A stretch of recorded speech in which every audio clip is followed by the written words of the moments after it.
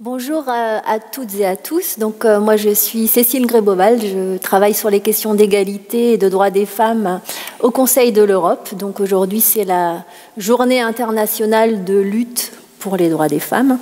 Donc, je suis ravie d'être ici avec euh, Rebecca Donauer pour parler de l'émission d'Arte Créature, qui est entièrement dédiée au mouvement féministe. Donc, euh, Rebecca vous êtes un des visages d'Arte Journal, mais vous êtes aussi une des mamans de Créatour. Alors parlez-nous un peu de vous et de comment vous êtes devenue une des mamans de Créatour. Bah, c'est très joli les mamans, euh, la maman de Créatour. Effectivement, on est, on est plein de mamans, si on peut dire. Euh, voilà, moi je suis allemande, je suis journaliste, ça fait quelques années que je suis au journal.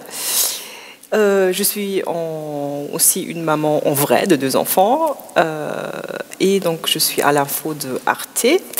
Et il y a trois, je pense quatre ans à peu près, on a commencé à faire Créatour. Euh, et on est toujours là et c'est super, c'est sur le web et on, on traite toutes questions féministes qui nous vient à l'idée. Et puis finalement, il y en a tellement que ça ne s'arrête pas. Non, ça s'arrête pas, pas, au contraire.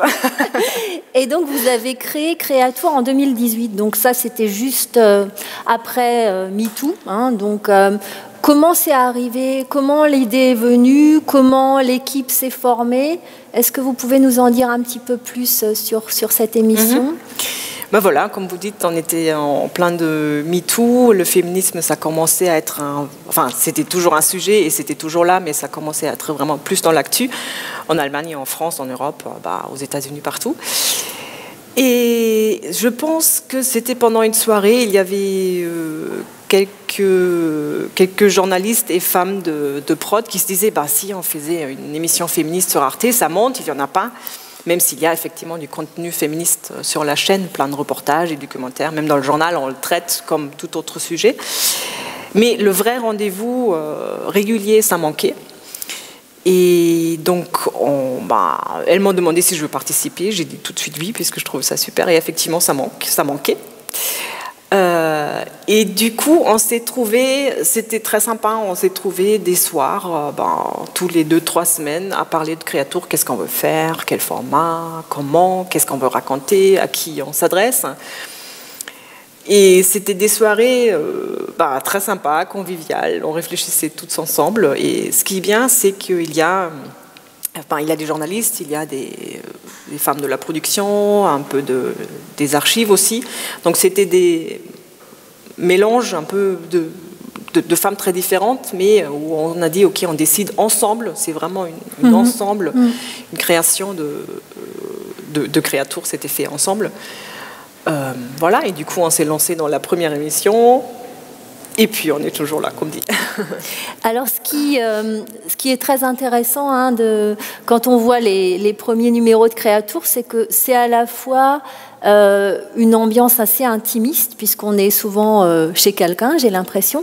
Et en même temps, on voit euh, beaucoup de gens. Donc la production est, assez visible. Et je trouve que ça correspond bien au thème. Donc ça correspond bien quand même à une optique vraiment participative et à une idée de, féminisme et de sororité même. Donc est-ce que c'est fait exprès? Est-ce que ça a été vraiment votre optique? Oui, c'est, j'aurais pas mieux euh, décrit le concept, effectivement.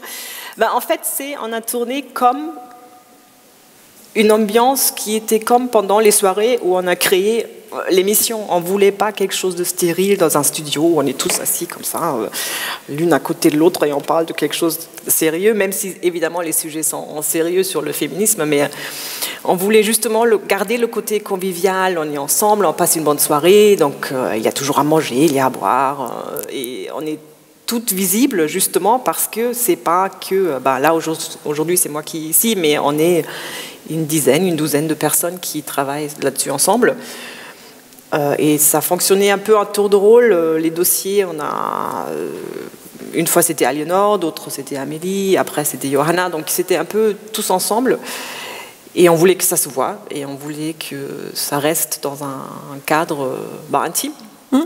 Et justement, effectivement, l'équipe en voit aussi, donc on voit un peu la production. Euh. Ouais. Et ça marchait bien, c'est pas toujours évident à faire, mais, euh, mais c'était bien. Et euh, voilà, le réal, pareil, un peu toujours casser la tête de rendre ça rigolo et un peu autre que qu'on a d'habitude de voir en fait. Et euh, quelle a été la, réaction de la hiérarchie à Arte? Parce que c'est vrai que des, des, émissions qui se disent euh, ouvertement féministes, surtout à la télévision, il y en a très peu quand même. Euh, en plus, vous avez commencé très fort parce que les premières émissions parlaient du vagin. Donc, bon, les, les premières émissions étaient entièrement sur le web, donc pas directement quand même à la télé. Mais quelle a été la, réaction de la hiérarchie, y compris euh, sur le fait de, de, faire une émission féministe, de parler de vagin, de parler de violence, etc. Donc est-ce que ça a été difficile de convaincre au départ hein? Euh, Non, en fait, on était... Enfin, c'était conçu pour le web déjà. C'est un concept pour le web. Euh, être à l'antenne, ça c'est encore autre chose de toute façon. C'était pas pensé pour. Ça nous donne aussi une liberté pour les durées, pour les envies. Euh, c'est moi. Euh, on a un peu carte blanche, en fait, aussi pour les sujets. Euh, par contre, celui effectivement sur le vagin, sur la vulve, celui-là était même diffusé après coup à l'antenne, ce qui était chouette, ce qui n'était pas prévu. Donc on était très très contente. Après, les, bah, on était bienvenus de le faire. Le, projet, ça effectivement, après, il y avait un peu des blagues euh, euh, dans la maison. Euh, oui, bah, si on faisait une émission sur les pénis, ça n'aurait jamais passé. Donc mais voilà, on a pris ça en rigolo, c'est vrai. et après, moi, je leur ai dit, bah, faites. Et puis après, en vrai. mais bon, après, sur la vulve, c'était bien aussi parce que on apprend plein de choses, on l'a pris un peu en légèreté, et finalement, il y a plein de choses à dire, comme dans toutes les mmh. émissions. Et c'est ça qui est ce que moi j'adore dans cette émission, que chaque fois j'apprends plein de choses. En fait, mm. on se dit, on, a, on, sait ce qui, plein de choses sur les inégalités, sur les trucs qui vont pas, etc. Mais il y a plein de domaines où on se dit, mais c'est pas vrai, il y en a encore mm. euh, des choses, c'est juste incroyable. Mais voilà, donc on apprend tous les jours et c'est ça qui est chouette. D'accord. Alors euh, sur les questions d'égalité, donc euh, c'est vrai qu'on parle de plus en plus d'égalité dans les médias et peut-être que Arte a toujours été un petit peu à l'avance là-dessus, mais malgré tout, alors il y a des chiffres qui, viennent de sortir aujourd'hui. Euh, les femmes ont 35% de, de temps de parole dans l'audiovisuel français. Au niveau mondial, quand on parle de remise en question des inégalités, il y a 3% des tweets qui euh, sont sur ces sujets-là. Et en plus, on remarque que quand les femmes sont dans les médias, elles sont le plus souvent comme euh, témoins, mais beaucoup moins souvent comme expertes mhm. ou pour, euh, pour commenter des thèmes comme le business, les finances, etc. Donc, comment vous percevez ça, vous, en tant que journaliste?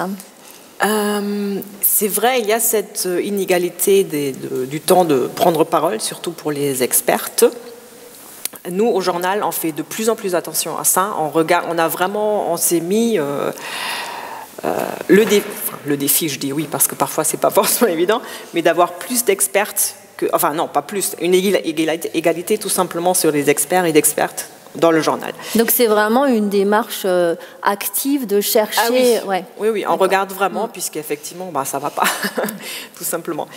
Et dans Créatour, en fait, c'était un peu aussi ça la volonté de faire cette émission, parce que justement, on, euh, se disait, il y a plein de femmes qui ont des choses à dire, des expertes dans tous les domaines, dans tous les domaines, enfin n'importe.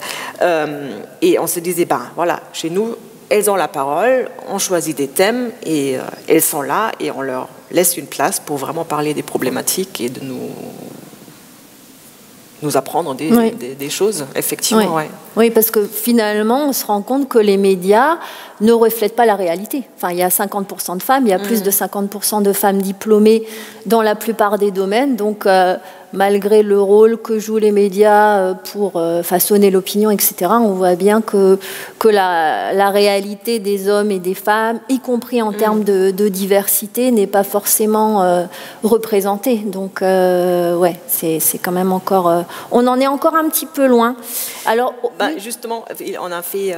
c'est plus ou moins dans, cette direction. On a fait une émission sur l'art et les femmes.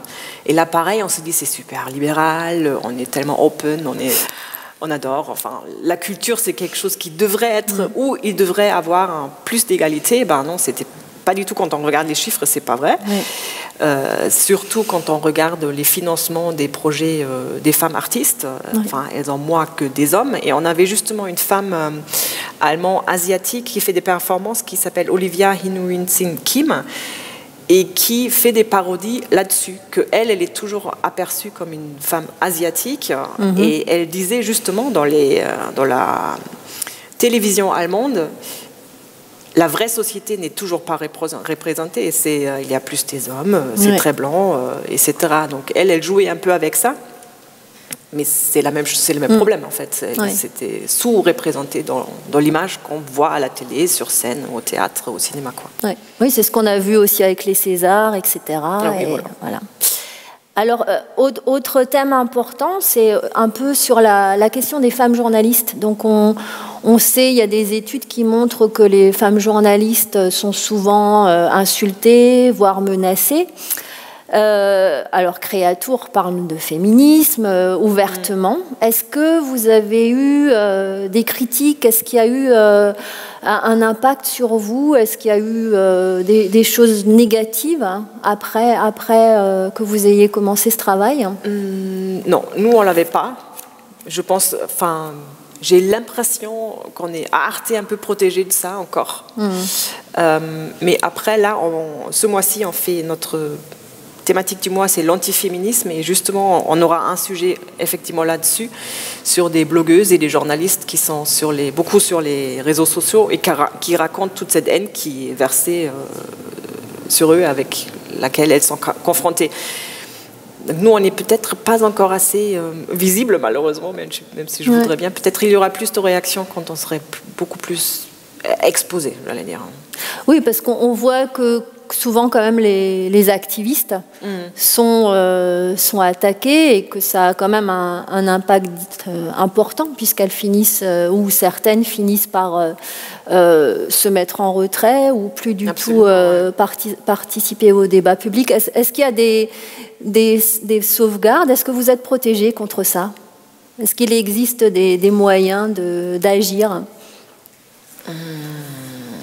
Alors ça, c'est une bonne question. Hein J'imagine. Mais chez, Arte, vous n'avez pas de... Enfin, nous, on n'a jamais abordé la, cette question comme on n'a pas eu ces situations-là. Mais après, je... Enfin, moi, j'ai presque envie, on aurait envie de se défendre à ce moment-là, tout ensemble. On n'est pas seul, on est, on est là pour ça aussi, pour être dans, dans la solidarité à, mhm. ce moment-là. Oui, d'accord. Tant mieux. Ouais. alors, par curiosité, euh, quand j'ai vu Créatour pour la première fois, je me suis quand même demandé comment vous avez choisi le nom. Parce que pour moi, Créatour, alors ça renvoie, renvoie évidemment à la création, mais ça renvoie aussi à peut-être même à quelque chose d'un peu, une sorte de petit monstre comme ça. Donc, euh, comment vous avez choisi le, le, nom? Oui, alors effectivement, il y a ce côté-là. Euh, et euh, mais l'idée était plutôt, enfin chez Arte, on cherche toujours des noms qui marchent en allemand et en français, ce qui ne facilite pas forcément la chose, mais on y arrive. Et là, c'était un peu créature, effectivement comme une créature, euh, mais pour moi, ça n'a rien de, évidemment, rien de horrible et rien de divin ou mythologique non plus. Pour moi, c'est plutôt un être vivant qui est là. Enfin, cette émission que nous, on a créée comme mère, comme vous avez dit euh, au départ. Euh, et je trouve Enfin, on s'est posé beaucoup la question si on met le mot féministe tout de suite là-dedans. Après, maintenant, aujourd'hui, c'est Créatour, le magazine féministe sur mhm. Arte. Euh, euh, alors moi, personnellement, je trouve ça toujours super difficile de se trouver des noms qui sont un peu euh, knackig, comme on dit en allemand, et qui ne sont mhm. pas trop longs, trop courts, qui sont compréhensibles et qui claquent. Et après, moi, je trouve que Créatour, effectivement, il y a pour moi, dans le mot, il y a un peu créativité, et mhm. ça, ça va bien avec Arte. Donc, enfin, il y a tout un mélange, effectivement, là-dedans. Mais on n'est pas le petit monstre. On est peut-être éventuellement le monstre qui embête un peu les gens euh, pour euh, regarder, bah, regardez, il y a quand même des problèmes euh, pour les femmes encore dans le monde, mais dans un sens positif. Enfin, positif, comme on peut être positif quand on réclame L'égalité. L'égalité, tout Les simplement. Droits. Ouais. D'accord. Et vous avez eu des feedbacks? Quel a été un peu l'impact des différentes émissions Est-ce que vous pouvez... Alors pour, pour les personnes qui n'ont pas encore regardé Créatour, mais il faut absolument, il faut savoir que Créatour, c'est neuf émissions sur différents thèmes qui vont du sport à l'éducation, à la santé des femmes, à quoi l'art, la justice. Voilà. Donc vraiment toute une, série de, domaines, euh, avec toujours évidemment l'optique franco-allemande et euh, euh, des, des, animations, etc., qui nous permettent d'avoir vraiment le, une, vision assez complète de, de ces questions-là. Et donc après, au bout d'un moment, vous avez changé. Qu'est-ce qui s'est passé?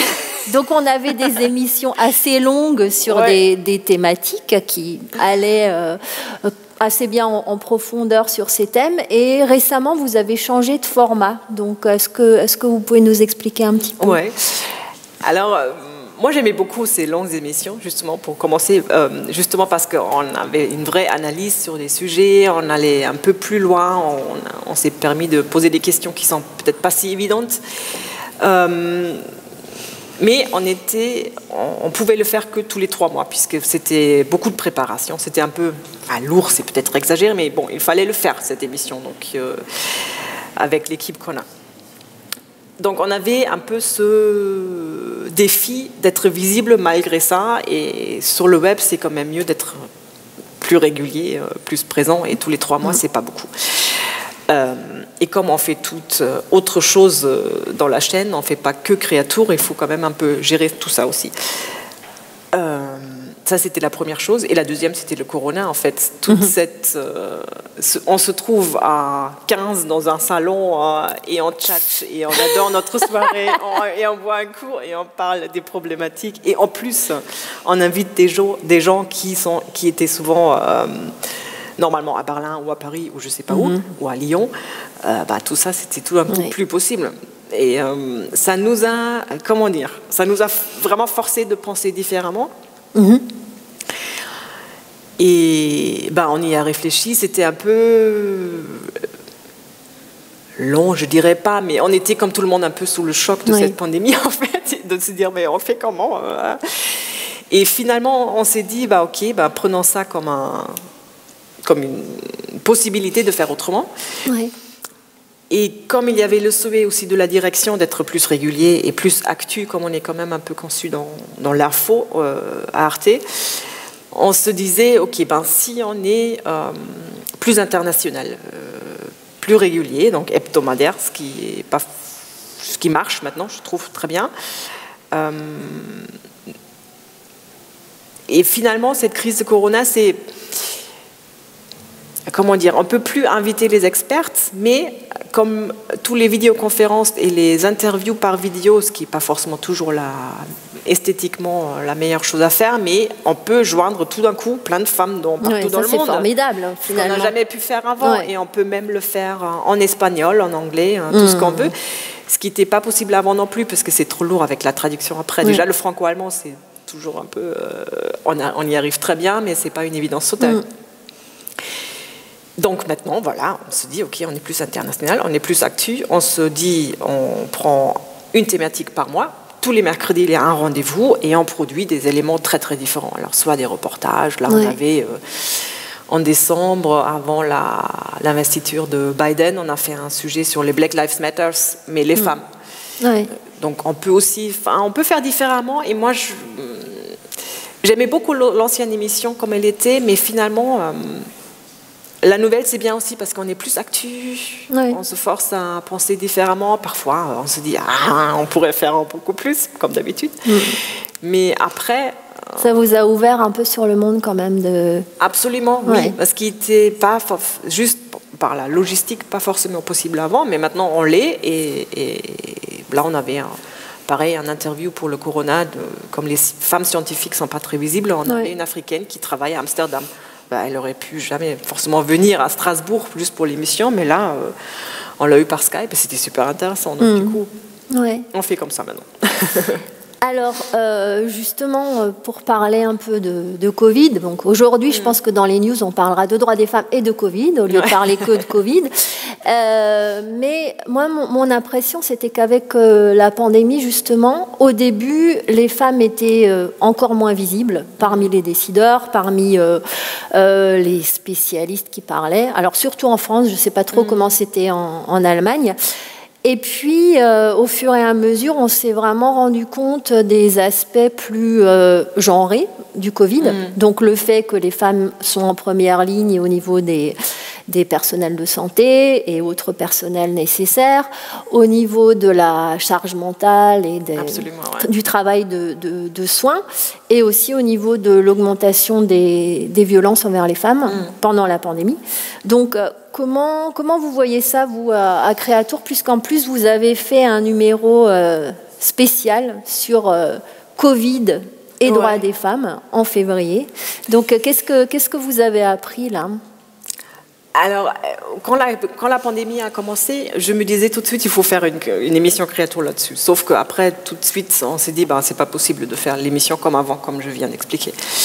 Et après, là, en février, on se disait, bon, faut quand même le faire parce que c'est quand même un thème majeur de cette crise que les femmes, comme vous dites, sont en première ligne. Et il y a une inégalité qui se creuse vraiment mm-hmm. sur plusieurs, dans plusieurs domaines. Euh, et du coup, on s'est dit, OK, on fait un vrai bilan un an après, puisqu'il y avait maintenant d'autres chiffres aussi qui sont sortis. Et ben, il y a une sociologue allemande qui est très très connue, euh, Jutta Almendinger, qui a fait justement un bilan là-dessus, qui parlait beaucoup de la charge mentale et mhm. de, des femmes qui, euh, quand ils s'agit de bah, qui reste à la maison, bah, c'est les femmes, euh, elles ne peuvent hmm. pas travailler. L'école à la maison. L'école à la maison. Hein, plus de cantine. Plus de cantine, voilà. Donc la charge mentale assez euh, bah, bien augmentée pour plein, plein, plein de femmes. Mais après, c'est pas que ça, c'est aussi ben, les infirmières, euh, mhm. les caissières. Tous ces boulots-là, c'est quand même majoritairement des femmes. Elles sont plus exposées au risque. Et il y avait des chiffres de l'ONU même qui disaient que dans les, euh, dans les, euh, comment tu dis ça? Les entreprises qui ont laissé partir des, les licenciements Dans les licenciements, voilà, mondialement, c'était bah, des femmes en majorité pendant la crise. Donc je pense que c'est. enfin, c'est horrible d'avoir ce backlash-là et un retournement dans les, dans, les, dans, les, dans les rôles, dans les familles aussi, etc.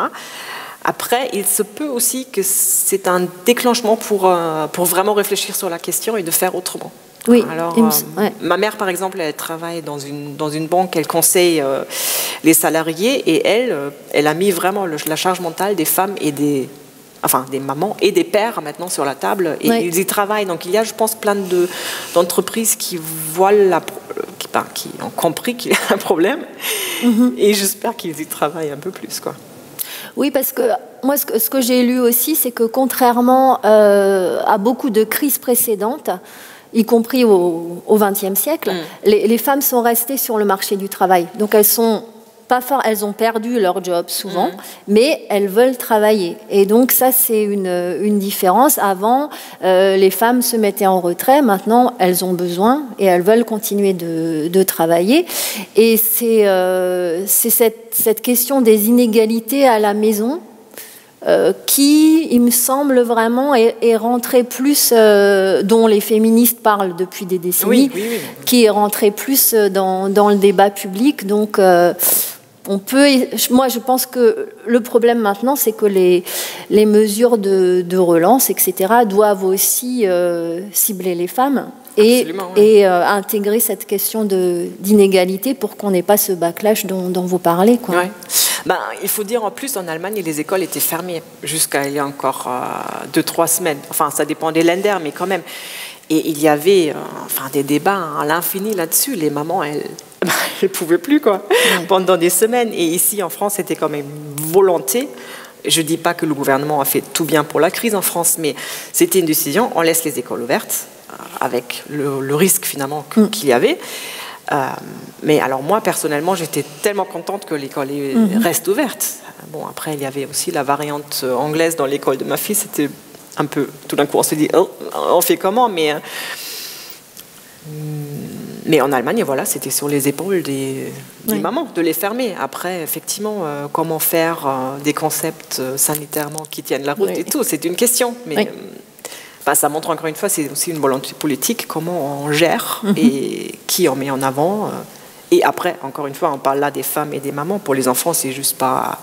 Psychologiquement, c'est très difficile aussi à, supporter d'être tout le temps à la maison enfermée. Oui, sans compter le, le risque que pour les femmes et les enfants de se retrouver enfermés avec des conjoints ou, des, des, parents violents. Et ça, on a vu aussi que, que une augmentation des cas de violence pendant, euh, pendant le Covid. Euh, alors, quels sont comment vous allez continuer là? Quels sont euh, tous les mercredis pour commencer euh, Alors moi j'essaye toujours, enfin nous en essayant de, prendre un peu d'avance puisque pour la production il faut un peu de, de temps quand même pour préparer, produire les éléments. Euh, bah là, on est sur l'antiféminisme, comme dit. On a fait une grosse, grosse pastille, comme on appelle ça, hein, l'explication, tous les mouvements antiféministes, d'où ils viennent et d'où ça sort et pourquoi c'est fort en ce moment. Vous pouvez nous en dire un peu plus? Alors moi, je trouve, pareil, moi, c'est passionnant ce sujet-là parce que souvent on parle de l'extrême droite et des mouvements populistes et on dit voilà c'est euh, fasciste, c'est droite, etc.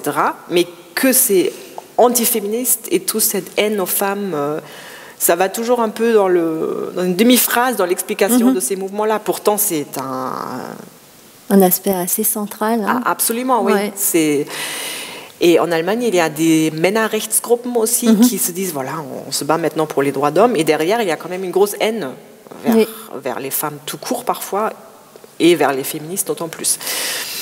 Et donc, euh, Catherine, elle, explique dans le sujet tout ça très très bien. Elle a une, femme qui, qui nous explique que ça a quand même augmenté les, les, dernières années, que l'AFD en Allemagne, voilà, mhm. c'est un peu ça. Enfin, c'est un peu ça, c'est beaucoup ça. Ouais, euh, après, on a un reportage là aujourd'hui sur l'Autriche, sur l'EVP, le, le parti qui est au gouvernement, mhm.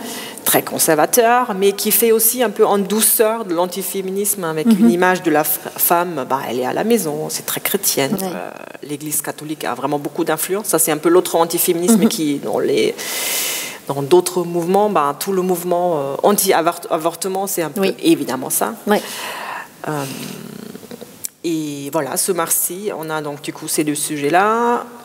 Une sur la haine des, euh, contre les femmes dans les réseaux sociaux.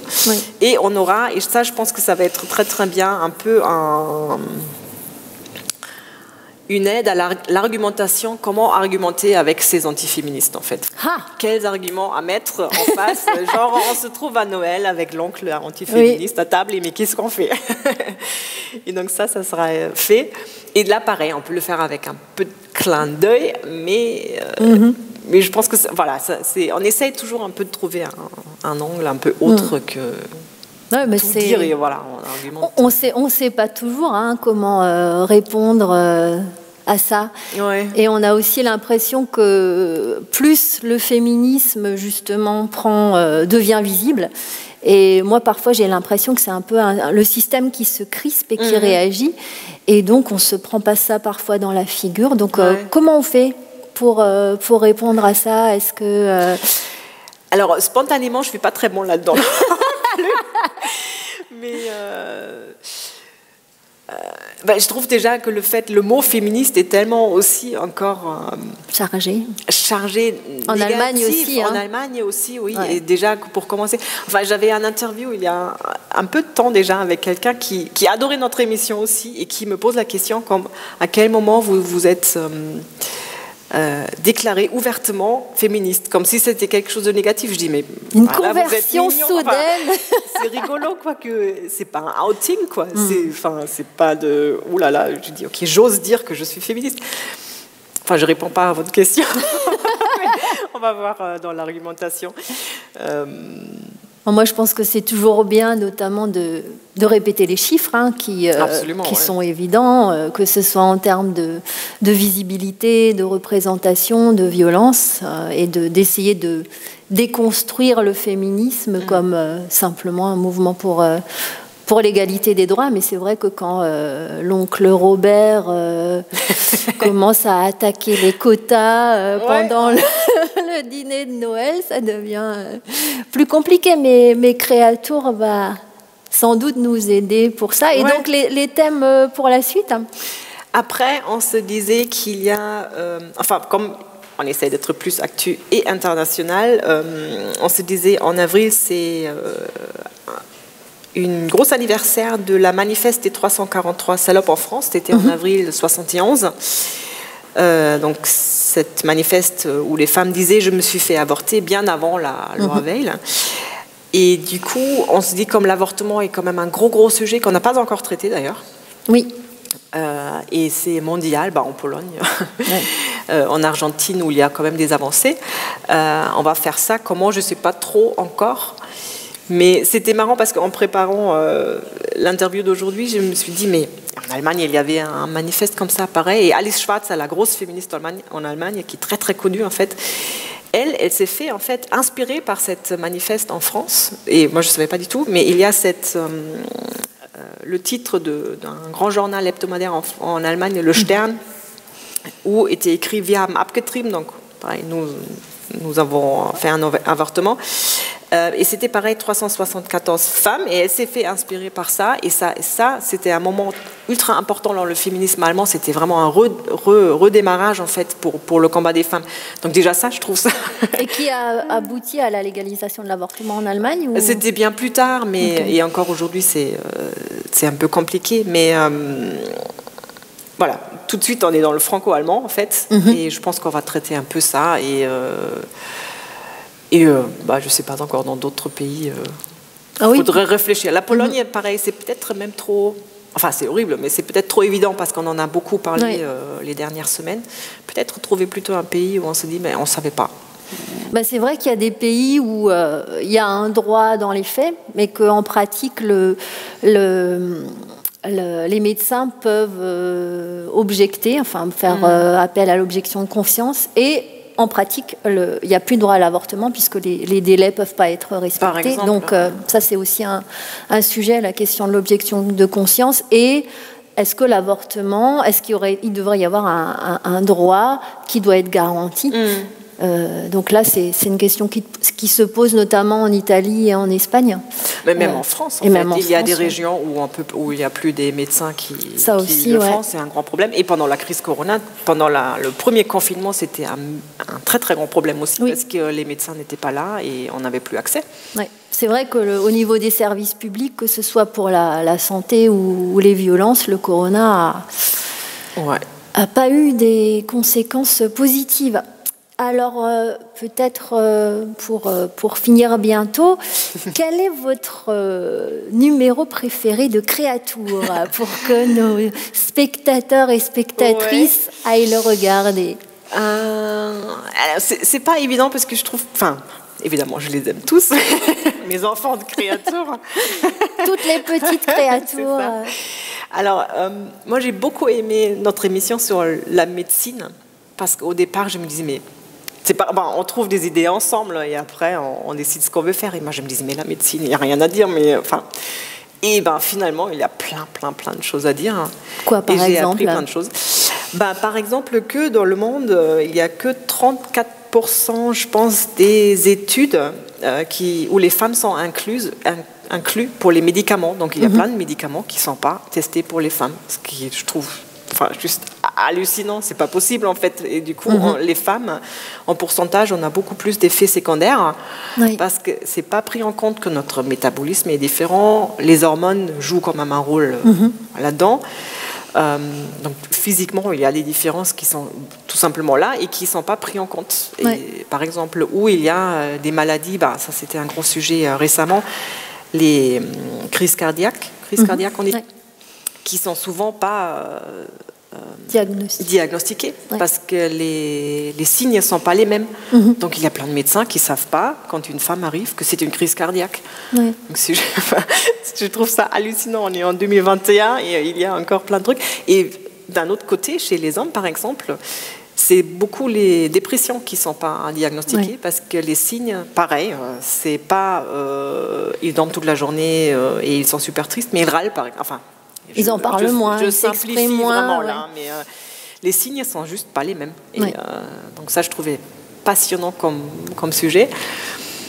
Euh, après, j'aimais beaucoup l'éducation aussi, parce que comment éduquer ses enfants dans un esprit mm. féministe sans les clichés, et c'est. Enfin, j'ai la bataille tous les jours. et c'est vrai qu'on vit pas dans le vide. C'est que on, peut élever ses enfants comme on veut, ils sont quand même influencés par l'école qui n'est pas forcément toujours euh, féministe, par les médias, par euh, le cinéma, par les jouets, rose et bleu. Ah oui, et parfois on peut rien faire. Et ça, il faut accepter aussi. Il faut proposer autre chose aux filles et garçons. Et mais mm. c'est aussi dans un esprit où euh, je me dis, il faut quand même une. Enfin, c'est peut-être un peu pathétique, mais la prochaine génération, il faut, il faut, faut d'autres idées. Il faut que ça soit encore plus ancré qu'il y a une, mm-hmm que les droits pour les hommes et les femmes, c'est pareil, et que les filles peuvent faire ce qu'elles veulent. Et euh, c'est un peu notre travail presque quotidien de le faire. Mm. Mais c'est pas évident. Comme non, dites, pas. On a des influences partout et voilà, c'est pas. Mais bon, on apprend dans l'émission comment faire et euh, comment pas exagérer dans les moments un peu compliqués et de laisser faire les enfants comme ils veulent aussi. Mais de, je pense que c'est pareil. Quand on se rend compte déjà du problème, on peut déjà agir un peu autrement. Mhm. Et les écoles font des efforts aussi. Ouais, les choix des jouets, les choix des livres. Absolument, oui. Parce qu'on est ici dans, une, une librairie. C'est ça. Oui, mais pareil, la diversité dans les livres, maintenant, il y a beaucoup plus d'héroïnes, mais à un mm. moment, ce n'était pas le cas. Enfin bref, voilà. vous voyez bien, euh, tout est très, très passionnant. Toute la question de la, la déconstruction des, des, contes, des contes de fées, je trouve que c'est euh, très intéressant de, de, commencer à réfléchir d'un point, point de vue féministe à... Euh, à Blanche-Neige ou à Cendrillon et à ces personnages ah, qui sont leur prince, tout simplement, et la Mais bon, après, c'est pas, ça vaut pas pour tous les contes, non, j'exagère. Mais bon, il y, a, il y a encore un boulot à faire, mais on peut accompagner, on peut quand même raconter l'histoire et l'accompagner quand même avec autre chose et être un modèle pour une maman qui travaille et qui a autre chose mm. et euh, qui est quand même une bonne mère, pas une mota comme on dit en allemand. Très bien. Bon sujet, voilà. Mais Longue vie à Créatour et puis tous les, euh, tous les, mercredis sur Arte et que le 8 mars soit tous les jours. C'est ça. Merci beaucoup. Merci beaucoup. Merci.